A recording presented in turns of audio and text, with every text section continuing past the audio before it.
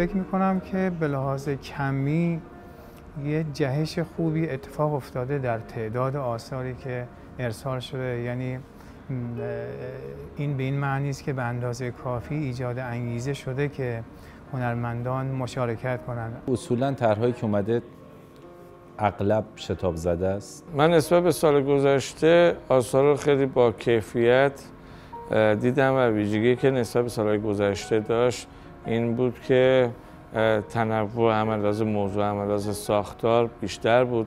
و یه نکته هم که من خوشحال شدم ازش این که بدون تعارف بگم تعداد آثار هنرمندا خیلی زیاد بود. نکته دوم این که همچنان بر پایه همون اصول اولیه تئاتر خیابانی که اصلا هم صحیح نیست و به اشتباه در مملکت ما جا افتاده. طرح نوشته شده. اولین شاخصه که به ذهن آدم میاد تعداد آثاره که خب حدود دویست و چند تا آثار رسیده. خب این از لحاظ تعداد خیلی عدد کمی واقعا تعداد قابل ملاحظه ایه در کیفیت آثار در بخشی که من توقع داشتم شاید که یک کمی آثار نشاط انگیز باشه امید بخش باشه و در واقع شادی آفرین باشه بنا به تناسبی که در اون مقطع ما توقع داریم فکر می‌کنم کمی کمتر بود. کار خیلی متنوع بود دیگه. چون یه مدار شاخصایی رو شهرداری تعیین کرده بود برای طرحها طرحی که به اینجا می‌رسه. به نظر من در زمینه شاهنامه فردوسی در زمینه کار کودک در زمینه عموم دقدقایی که خب ما هم تو شهر داریم خوشبختانه متون خیلی خوب رسیده بود به نظر من. و اون تعویض که در بین 200 کار خب کاری هست که دیگه ممکنه واقعا ضعیف باشه اونا رو گذاشتیم کنار. اما اون کارهایی که انتخاب کردیم نزدیک به 50 خورده این متن هست که باید دو مرتبه باید اینا خونده بشه انتخاب بشه. ببینید به واسطه حضور ابوالقاسم فردوسی در شهر ما ارزم به حضورتون که خیلی از کارها بر پایه نقالی هست و پردخانی هست که در معابر عمومی اجرا میشه. خب این به نظر من نقطه قوتیه. هنرمندان به این توجه بکنن که ما در مقطعی از زمان توقع از اونها داریم که آثاری که ارسال می‌کنن آثاری که خلق می‌کنن آثاری باشه که بنا به موقعیت زمان و مکان و فرهنگ مرتبط مردم با اون شرایط باید تولید بشه. تئاتر خیابانی می‌تونه جایگاه بسیار خوبی داشته باشه در بحث فرهنگ شهروندی و همه شعارهایی که داره داده میشه. شهر هوشمند که جناب آقای شهردار مطرح کردن می‌تونه خیلی کمک کنه. به شرطی که مناسبتی و منوط بر اجراهای شب عید و جشنواره بهار نباشه خانه بهار نباشه. متاسفانه خیلی از این آثاری که رسیده اصلا تئاتر نیست.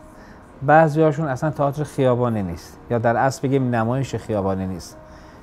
چون این دوتا کاملا با هم دیگه متفاوتن در این حالی که خیلی هاشون تکراری هست. و خیلی هاشون چون مشهد شهر توس شهر فردوسی بزرگ است. خب خیلی مسائل رو از طریق شاهنامه و فردوسی و رستم و سهراب می‌خواستم پی بگیرم ولی که متاسفانه خیلی ضعیفه. ما صاحب نمایش های میدانی و محیطی در منطقه هستیم. ما بسیار آثار و آینه های بسیار زیبایی نمایشی داریم در سطح کشورمون در جای جای کشورمون. که همینا می‌تونه به نظر من دستمایه های بسیار خوبی برای تئاتر خیابانی باشه.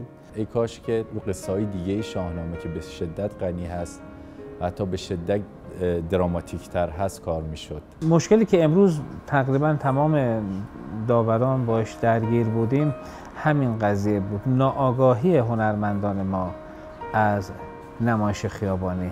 ایده های خوب مضمون خوب ایده های خوب تازه بکر نمونه غیر تکراری اینا چیزی که واقعا بهش خیلی تاکید داریم. و خوشبختانه تو این متونی که امسال ما من مطالعه کردم اینجا به طور جمعی خیلی خوب لازی ایده ها ایده های قشنگی بود. به نظر مزامین خیلی قشنگی بود.